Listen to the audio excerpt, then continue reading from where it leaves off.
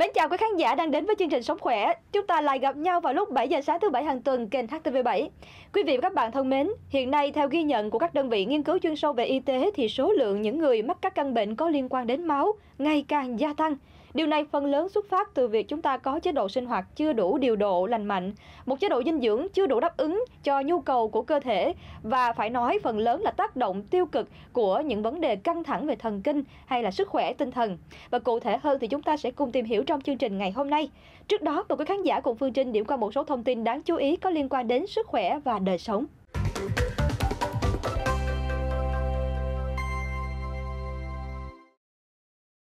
Một nghiên cứu công bố trên tạp chí Food and Chemical Toxicology đã chứng minh được vỏ trấu và vỏ lụa của hạt cà phê có công dụng chữa được một số căn bệnh.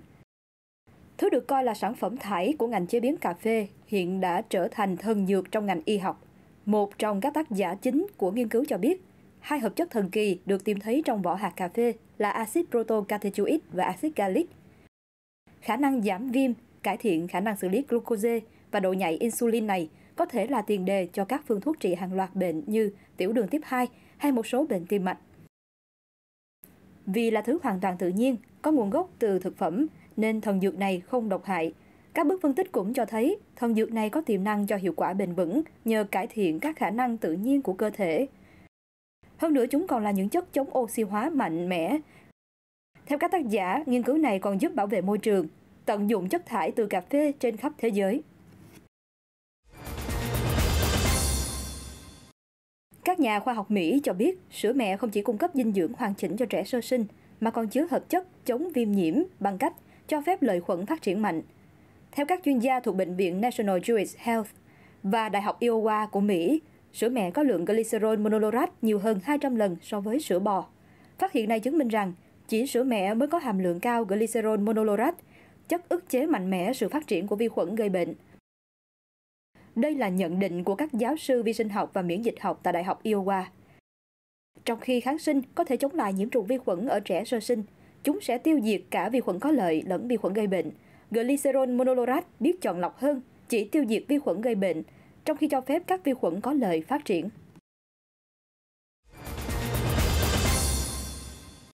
Viên thuốc Viagra đang được biết đến với công dụng điều trị tăng áp động mạch phổi và chứng rối loạn cương dương.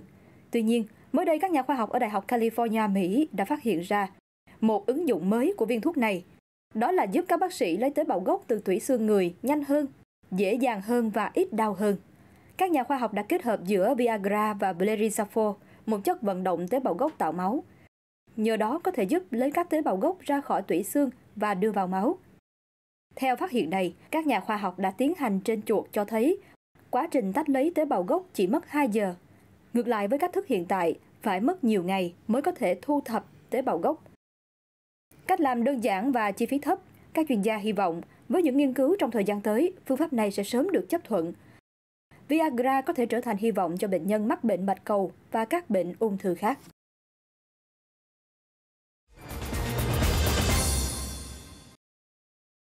Dùng thức ăn nhanh đang là một xu hướng tại các thành phố lớn nhiều người cho rằng đây là phong cách ăn của lối sống hiện đại và tiết kiệm thời gian. Thế nhưng, việc thường xuyên sử dụng đồ ăn nhanh không chỉ mất cân đối về dinh dưỡng mà còn ảnh hưởng tới sức khỏe. Các nhà khoa học đã tìm ra mối liên hệ giữa các hóa chất trong giấy bọc đồ ăn nhanh, hộp đường pizza với việc tăng nguy cơ mắc ung thư và vô sinh ở người. Nghiên cứu đã phân tích máu của 10.000 tình nguyện viên để tìm kiếm các hóa chất độc hại BFA, được gọi là hóa chất mãi mãi, Kết quả cho thấy, những người thường xuyên ăn đồ ăn có lượng BFA trong máu cao hơn đáng kể so với những người nấu ăn tại nhà. Các hóa chất nhân tạo này có liên quan đến vô sinh, ung thư, bệnh tuyến giáp và cholesterol cao. Các nhà nghiên cứu hy vọng những phát hiện mới nhất này sẽ giúp người tiêu dùng tránh khỏi sự phơi nhiễm và thúc đẩy các nhà sản xuất phát triển vật liệu đóng gói thực phẩm an toàn hơn.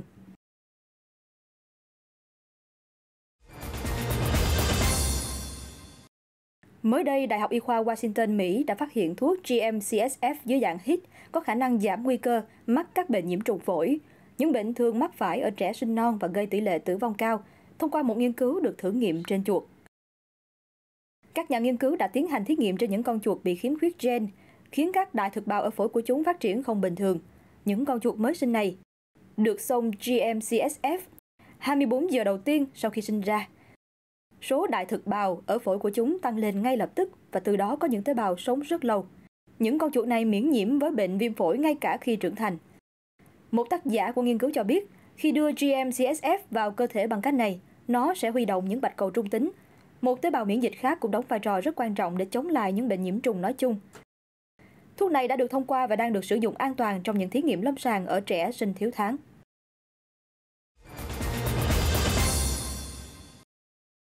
Ô nhiễm không khí được xem là tác nhân hàng đầu gây nên những ảnh hưởng nghiêm trọng đến môi trường và sức khỏe cộng đồng. Mới đây trong hội nghị học thuật châu Âu về da liễu và hoa liễu EGV tại Madrid, Tây Ban Nha đã chỉ ra mối liên hệ giữa ô nhiễm không khí và bệnh rụng tóc ở người. Để chứng minh không khí ô nhiễm có thể gây ra hoái đầu, các nhà nghiên cứu đã phân tích các tế bào được lấy từ đáy nang lông trên da đầu. Họ tìm thấy các phân tử ô nhiễm sinh ra từ hoạt động công nghiệp và các loại xe hơi chạy trên đường. Kết quả nghiên cứu cho thấy bụi mịn PM10 và các hạt diazen đã làm giảm hàm lượng beta-catenin trong cơ thể. Đây là một loại protein thúc đẩy duy trì sự mọc tóc. Ngoài ra, nghiên cứu này cũng phát hiện hàm lượng của ba loại protein khác cùng tham gia hỗ trợ và duy trì mọc tóc là silin D1, silin E và CDK2 bị hạ rõ rệt bởi tác động của các hạt phân tử nêu trên.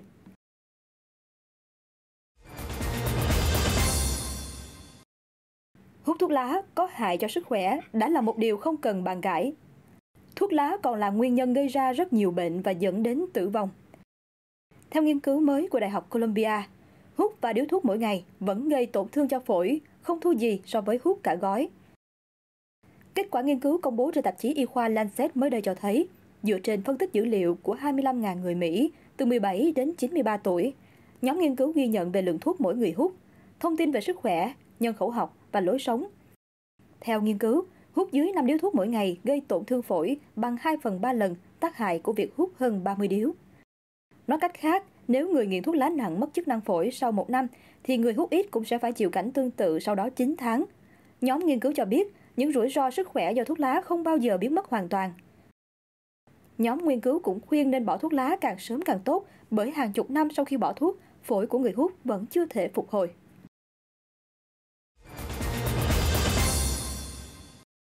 Ung thư vú được biết đến là một trong những căn bệnh gây tử vong cao nhất ở nữ giới. Việc tầm soát ung thư vú bằng xét nghiệm bộ gen trên những phụ nữ có nguy cơ bị ung thư vú cao dựa trên các tiêu chuẩn lâm sàng hoặc tiền sử gia đình đã được khuyến cáo bởi các tổ chức quốc tế. Theo một nghiên cứu đăng tải trên tạp chí JAMA Network, số bệnh nhân mang đột biến gen tăng nguy cơ ung thư vú nhưng không có tiền sử gia đình hoặc đáp ứng các tiêu chuẩn lâm sàng chiếm số lượng rất lớn, sắp xỉ 50%. Kết quả nghiên cứu so sánh việc tầm soát ung thư vú cho tất cả các phụ nữ thay vì chỉ giới hạn trên những phụ nữ có yếu tố tiền sử gia đình hoặc đáp ứng các tiêu chí lâm sàng trên 11.836 phụ nữ bằng xét nghiệm BRCA1, BRCA2 và BALB2. Dùng chẩn đoán ung thư vú cho thấy hết sức hiệu quả so với gánh nặng chi phí. Kết quả này hỗ trợ cho những thay đổi về chính sách và khuyến cáo mở rộng xét nghiệm bộ gen tầm soát ung thư vú cho tất cả phụ nữ.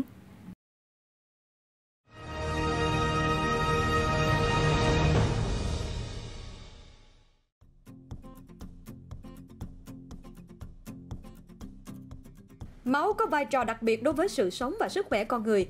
Máu trong cơ thể có chức năng cung cấp các chất dinh dưỡng và cấu tạo các tổ chức cũng như loại bỏ các chất thải trong quá trình chuyển hóa của cơ thể.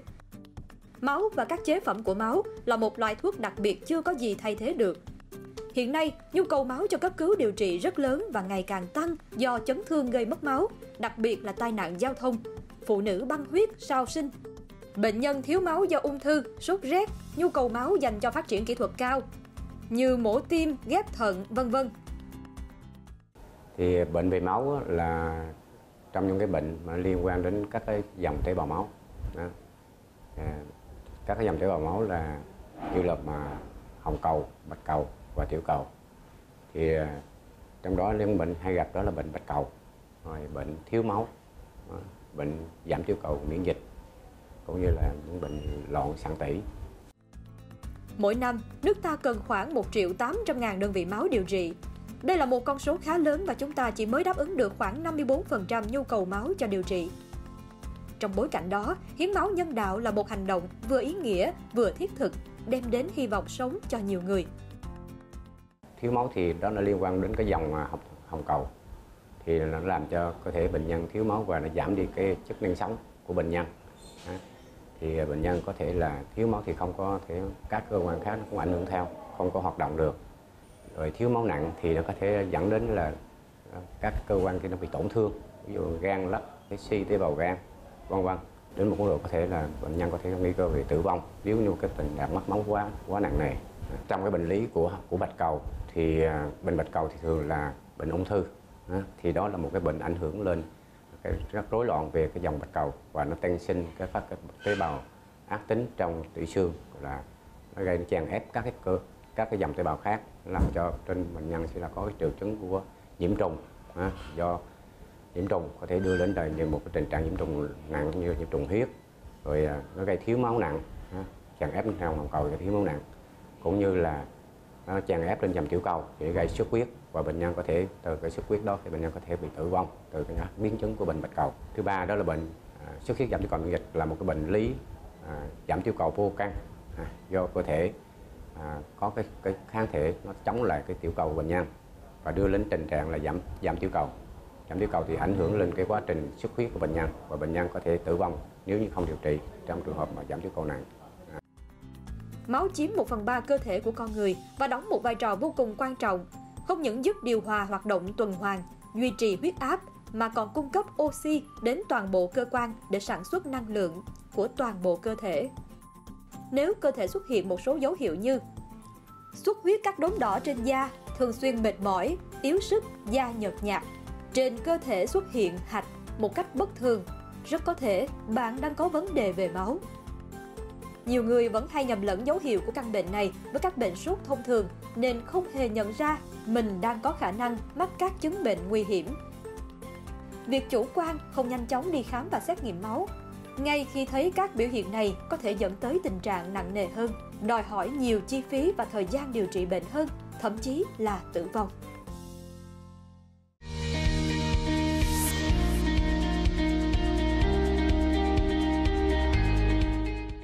Thưa quý khán giả, như đã nêu ở đầu chương trình thì hiện nay các căn bệnh có liên quan đến máu ngày càng gia tăng.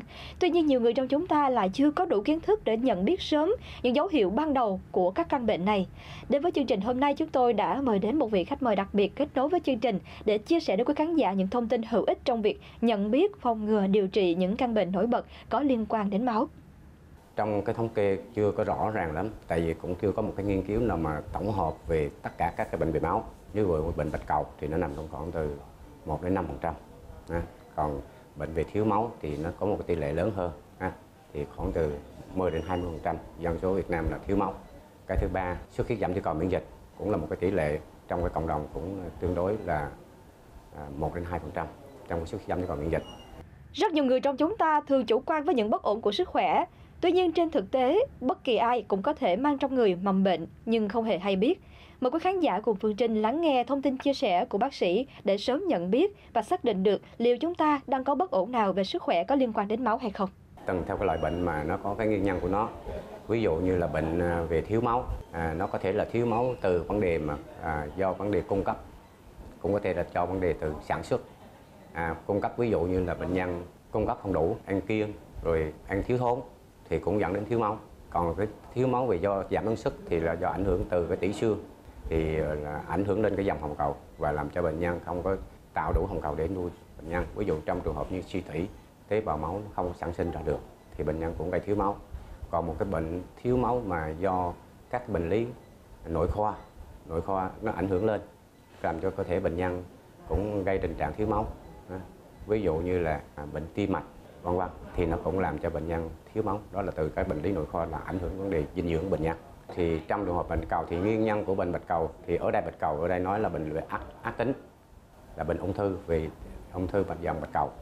Thì đa số thường là là do à, hóa chất à, tia xạ và những cái nguyên nhân về rối loạn về di truyền à, của của người bệnh. Thưa quý khán giả, các căn bệnh về máu liên quan đến nhiều nguyên nhân khác nhau và cũng hết sức đa dạng. Vì thế, để có thể được chẩn đoán một cách chính xác, thì chúng ta cần tuân theo những chỉ định về xét nghiệm và thăm khám do các bác sĩ có chuyên môn đưa ra. Tuyệt đối không nên tự phán đoán và điều trị. À, trong cái bệnh máu mà hay gặp mà nguy hiểm nhất á, thì như nãy tôi đã nói thì là bệnh bạch cầu. Đó là một cái bệnh lý về ung thư thì có thể là dẫn đến cái tình trạng à, suy giảm miễn dịch của bệnh nhân là nó làm tổn thương các cái cơ quan À, thì bệnh nhân có thể tận tử vong nếu như không điều trị. Thì à, nó giảm tử vong rồi bệnh nhân có thể có các cái ảnh hưởng như là nhiễm trùng rồi xuất huyết cũng như là xuất huyết ở đây thì là có thể là xuất huyết tiêu hóa xuất huyết não do nó giảm giảm tiêu cầu. Nhiễm trùng huyết là do bệnh nhân à, giảm bạch cầu bạch cầu hạt trung tính. Thì đưa đến cái tình trạng là dễ quy trùng dễ xâm nhập vào cơ thể cho nên bệnh nhân có thể nhiễm trùng các cái cơ hội à, ngoài ra thì cũng có một số cái bệnh lý mà cũng thể nguy hiểm mà bệnh nhân có thể cũng cuộc sống tử vong như trong các bệnh lý về máu. Nếu mà nó nặng ví dụ như là thiếu máu nặng rồi à, giảm tiểu cầu nặng hay là tăng tiểu cầu. Tăng tiểu cầu cũng là một cái bệnh lý mà nó cũng rối loạn về cái cái dòng tiểu cầu. Để bệnh nhân có thể bệnh nhân có cái triệu chứng là tắc mạch và gây đến tình trạng là tổn thương các mạch máu ở cơ thể à, gây triệu chứng như là nhồi máu não à, đột quỵ vân vân. Thì cũng có thể là bệnh nhân có thể tử vong có một số những chia sẻ ban đầu của bác sĩ như vừa rồi, có lẽ quý khán giả cũng như Phương Trinh phần nào đã cảm nhận được sự nguy hiểm của những bệnh lý huyết học. Và một điều chắc chắn ai trong chúng ta cũng mong muốn đó là làm cách nào chúng ta nhận biết sớm được những biểu hiện ban đầu của các căn bệnh này để có thể kịp thời tìm đến sự hỗ trợ của y tế. Nó có nhiều biểu hiện, nó tùy thuộc vào nó ảnh hưởng trên cái dòng nào. À, ví dụ như à, máu ở đây người ta nói máu chung, à, ở đây là dòng bạch cầu, dòng hồng cầu cũng như là dòng tiểu cầu nếu như ảnh hưởng lên bạch cầu thì bệnh nhân sẽ có cái triệu chứng của tình trạng của nhiễm nhiễm trùng. À, ví dụ như sốt. À, sốt là một trong những cái nhiễm trùng. Và thứ hai nữa là bệnh nhân có những cái dấu hiệu của nhiễm trùng. À, sốt môi khô lưỡi dơ mệt mỏi. Cái biểu hiện thứ màn thứ hai đó là biểu hiện thiếu máu. Thì bệnh nhân sẽ có là say sẩm mệt mỏi và da niêm thì nhợt nhạt. À, hoạt động thì kém đi. Triệu chứng thứ ba đó là triệu chứng của giảm tiểu cầu thì bệnh nhân có thể là có cái tình trạng xuất huyết biểu hiện nhẹ của xuất huyết đó là xuất huyết da niêm là xuất huyết tiêu hóa xuất huyết não vân vân. Trong trường hợp mà nếu bệnh nhân không điều trị kịp thời thì như bệnh bạch cầu thì bệnh nhân có thể bị bị tử vong à, cho cái ảnh hưởng của cái lên cái ba dòng tế bào máu. Rồi à, bệnh nhân có thể là thiếu máu nặng cũng đưa đến tình trạng là tổn thương các cơ quan à, rồi à, bệnh nhân xuất huyết như xuất huyết não xuất huyết tiêu hóa vân vân là bệnh nhân có thể bị tử vong. Đối với hầu hết các căn bệnh có liên quan đến máu thì những biểu hiện cơ bản của người bệnh đó là da nhợt nhạt, xanh xao, dễ mệt mỏi, cảm thấy buồn nôn, vân vân. Và nếu chúng ta không phát hiện kịp thời để có phương án điều trị hỗ trợ chăm sóc sức khỏe thì có thể diễn tiến nghiêm trọng hơn dẫn đến suy đa phủ tạng. Nói chung là cái quá trình à, bệnh lý bạch cầu thì à, nó thay đổi à, không phải là nó giống nhau nó có cái thời gian ủ bệnh giống như bệnh lao bệnh à, các bệnh lý ngoại khoa khác hay là ung thư khác thì nó tùy theo cái cơ thể đáp ứng của người bệnh nhân. Cũng có thể nó diễn tiến rất là nhanh cũng có thể là nó diễn tiến rất là chậm. Nếu trong trường hợp mà nó diễn tiến nhanh như là những bệnh lý bạch cầu cấp còn nếu mà bệnh bạch cầu mạng thì nó diễn tiến từ từ. Thì bệnh nhân có thể là sống từ từ mà cũng không phát hiện được. Về phòng ngừa bệnh về máu thì đa số thì chúng ta phòng ngừa cái bệnh lý về thiếu máu. Và thiếu máu ở đây là thiếu máu do cung cấp thì chúng ta nên, nên là ăn uống đầy đủ cũng như là sinh hoạt đều đặn. Còn các cái bệnh lý bạch cầu và và tiểu cầu thì à, nói chung là khó phòng ngừa được. Tại đa số những bệnh lý đây là bệnh lý mắc phải của cơ thể chứ không phải ảnh hưởng từ cái à, vấn đề tác động của cuộc sống. Khám sức khỏe định kỳ thì à, chúng ta thử máu. Đơn giản nhất là thử các cái dòng tế bào máu ngoại vi để phát hiện sớm. Cũng như là khi mà có những cái dấu hiệu lâm, lâm sàng sốt kéo dài đó là một triệu chứng à, xuất huyết da niêm xuất huyết da chảy máu răng. Rồi là bệnh nhân có triệu chứng là thiếu máu như là say sẩm chóng mặt rồi à, mệt mỏi hoạt động kém thì nên đi kiểm tra bác sĩ và đi xét nghiệm để mà coi thử mình có cái tình trạng bệnh lý về máu hay không. Thưa quý vị và các bạn, mặc dù y học ngày càng tiến bộ và không ngừng có những bứt phá mới, thế nhưng trên thực tế vẫn có những vấn đề sức khỏe, y học chưa thể tìm ra được phương pháp điều trị hiệu quả. Thế nên nếu như chúng ta không may rơi vào những tình huống, những trường hợp như vậy thì cần phải chuẩn bị tâm thế và những điều gì để có thể nâng cao chất lượng cuộc sống trong thời gian tạm thời. Mời quý khán giả cùng chúng tôi tiếp tục lắng nghe những lưu ý sau đây của bác sĩ. À, hiện nay đối với bệnh bạch cầu thì à, cái phương pháp điều trị hiện nay là người ta có những tiến bộ là điều trị về ghép tế bào gốc à, thì người ta có thay thế những cái tế bào gốc cải thiện cái đời sống của bệnh nhân kéo dài rất là nhiều à, khoảng từ 15 đến 20 năm à, đó là một trong những tiến bộ của ngành quý học truyền máu. Thì hiện nay cũng có rất là nhiều cái cái, cái kiểu ờ, phương pháp ghép tế bào gốc khác nhau. À, thì ờ, cũng cải thiện cho một số bệnh bạch cầu. Hiện nay chúng ta chưa có phương pháp điều thầu đó là những cái bệnh lý như là bệnh lý di truyền. À, bệnh lý gì mà như là thiếu máu ờ, thiếu máu học thiếu máu di truyền như bệnh thalassemia, à, thalassemia bệnh lý HP thì hiện nay là mình chưa có có điều trị dứt dứt điểm được. Ha. thì vẫn là ở cái ở cái mức độ là tư vấn tư vấn về di truyền và ngăn ngừa cái sự à, sinh bệnh trong cái thế các thế hệ sau. À, là tư vấn di truyền là chủ yếu chứ còn à, vẫn vẫn đang điều trị ở cái mức độ là điều trị triệu chứng à, không có điều trị triệt để. Thưa quý khán giả, Phương Trinh hy vọng rằng đến đây quý vị và các bạn phần nào cũng đã có cái nhìn rõ nét hơn về những căn bệnh có liên quan đến máu. Chúng ta cảm thấy tự tin hơn và an tâm hơn khi à, chuẩn bị những vấn đề phục hồi sức khỏe, điều trị, chống lại căn bệnh này. Và trước khi chúng ta chuyển sang nội dung tiếp theo, xin mời quý khán giả cùng Phương Trinh điểm qua một số những lưu ý sau đây.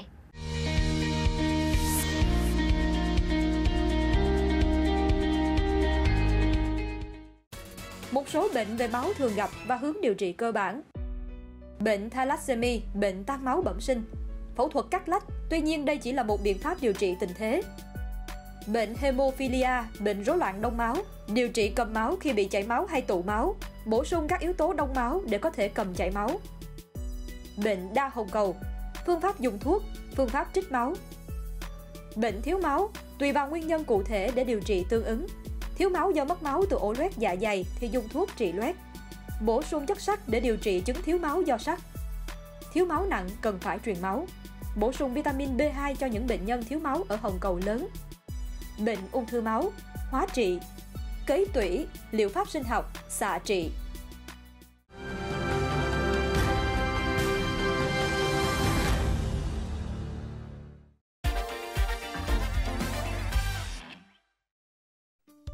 Từ vài năm trở lại đây, thành phố Hồ Chí Minh trở thành nơi tập trung các nhà đầu tư kinh doanh dịch vụ làm đẹp với sự ra đời của hàng loạt trung tâm thẩm mỹ, spa, trang bị cơ sở vật chất hiện đại.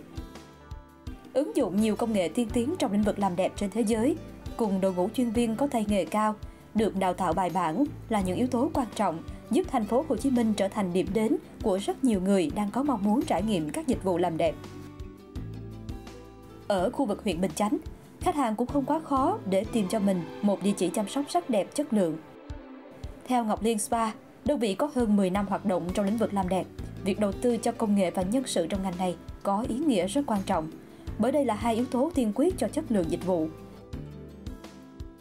Với việc thường xuyên cập nhật những công nghệ điều trị tiên tiến và đội ngũ chuyên viên có tay nghề cao, kinh nghiệm lâu năm, hiện các dịch vụ làm đẹp tại spa này đều được rút ngắn thời gian, đồng thời mang lại hiệu quả điều trị cao mà không sử dụng biện pháp xâm lấn tác hại đến da.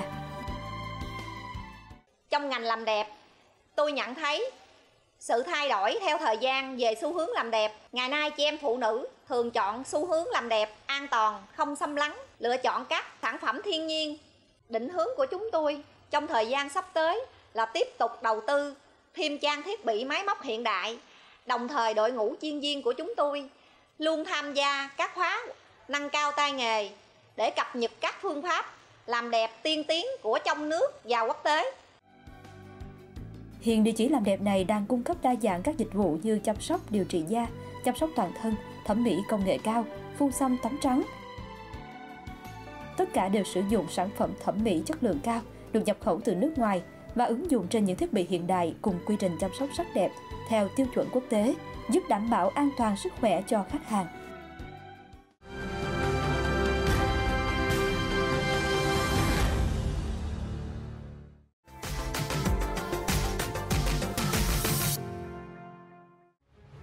Thể con người sẽ chấm dứt sự sống sau 3 đến 5 ngày nếu không được uống nước. Nước rất thiết yếu, thế nhưng trong bối cảnh môi trường sống đang chịu nhiều yếu tố bất lợi như hiện nay, nhiều người cảm thấy bất an khi sử dụng nguồn nước sẵn có. Đây là lý do vì sao những chiếc máy lọc nước ngày càng được tiêu thụ mạnh mẽ hơn và dĩ nhiên, thương hiệu nào cũng khẳng định chất lượng của mình để khách hàng an tâm mua sắm. Theo đại diện của A.O. Smith, một thương hiệu máy lọc nước có uy tín đến từ Mỹ, hiện đang được nhiều người tiêu dùng quan tâm nếu chỉ dựa trên cảm quan bên ngoài, hầu hết các thiết bị lọc nước đều có cấu tạo nguyên lý vận hành khá giống nhau. Tuy nhiên, thực tế công nghệ lọc mới chính là yếu tố quyết định chất lượng nước sau lọc, tỷ lệ nước thải, tuổi thọ lõi lọc, vân vân. Một chiếc máy lọc nước sử dụng công nghệ tiên tiến ngoài việc cung cấp nguồn nước tinh khiết, loại bỏ kim loại nặng và hóa chất độc hại, bảo vệ sức khỏe, thì còn giảm thiểu được tỷ lệ nước thải, kéo dài tuổi thọ lõi lọc và về lâu dài tiết kiệm chi phí sinh hoạt đáng kể cho người tiêu dùng. Những chứng nhận của các tổ chức uy tín hàng đầu như WQA, Hiệp hội Chất lượng nước Hoa Kỳ và NSF tổ chức giám định độc lập về an toàn vệ sinh thực phẩm và nước uống của Mỹ, được coi là kim chỉ nam giúp người tiêu dùng tìm được đúng sản phẩm chất lượng, bảo vệ sức khỏe cho gia đình. Ngoài ra, những tiện ích tăng thêm như hệ thống cảnh báo thay lõi, cảnh báo rò rỉ cũng là yếu tố cần được quan tâm.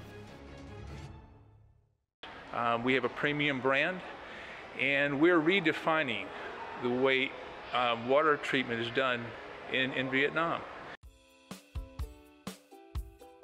Đại diện đơn vị cũng cho biết, hiện trên thị trường hơn 80% máy lọc nước sử dụng công nghệ lọc RO.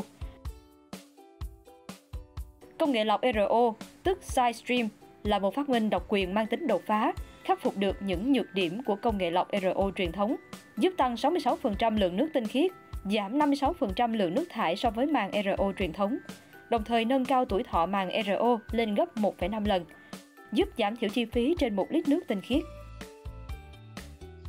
First, and we try to understand what the customer needs in each local country. We don't produce products in one country and then try and sell it everywhere else. Đại diện thương hiệu nói trên cũng cho biết, trước khi vào thị trường Việt Nam, hãng đã dành một thời gian dài tập hợp mẫu nước trên toàn quốc để phân tích, nghiên cứu và chuyển qua nhà máy để sản xuất sản phẩm phù hợp với điều kiện thị trường Việt Nam. Công nghệ là yếu tố chính quyết định sự khác biệt của máy lọc nước trên thị trường hiện nay. Một yếu tố nữa khách hàng cần phải quan tâm là chất lượng dịch vụ chăm sóc khách hàng. Khi có thắc mắc hay vấn đề kỹ thuật xảy ra, điều người tiêu dùng cần nhất chính là có thể yêu cầu hãng xử lý bất kỳ lúc nào, nhanh chóng và chuyên nghiệp. Cũng cần phải kể đến các chương trình khuyến mãi tri ân khách hàng trong thời điểm cuối năm của các thương hiệu lớn. Được biết năm 2019, thương hiệu máy lọc nước này kỷ niệm 145 năm thành lập tập đoàn. Từ ngày 21 tháng 10 năm 2019 đến ngày 24 tháng 1 năm 2020, mỗi tuần A.O. Smith sẽ chọn ra khách hàng may mắn để nhận một chỉ vàng SJC 4 số 9 hoặc máy lọc không khí trị giá 18,6 triệu đồng. Tổng giá trị giải thưởng lên tới gần 1 tỷ đồng. Để đưa ra quyết định đúng đắn trước khi chọn mua bất kỳ sản phẩm nào, chúng ta cũng cần nắm bắt thông tin xác đáng.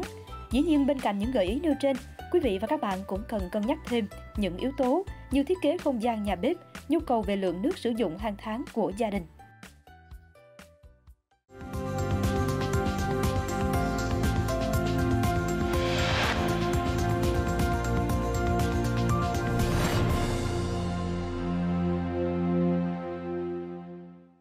Phóng sự ngắn vừa rồi cũng đã khép lại thời lượng của chương trình Sống Khỏe kỳ này. Quý vị và các bạn có bất kỳ thông tin ý kiến nào mong muốn chia sẻ với chúng tôi, xin đừng ngần ngại, hãy liên hệ đến email bbt sống khỏe com số điện thoại 028 2200 2714 2200 2816. Chương trình này được sự phối hợp thực hiện giữa Đài truyền hình thành phố Hồ Chí Minh và công ty cổ phần truyền thông Long Việt. Quý khán giả đừng quên giờ phát sóng quen thuộc nhé, 7 giờ sáng thứ bảy kênh HTV7. Còn bây giờ, xin cảm ơn sự theo dõi của các khán giả. Kính chào và hẹn gặp lại.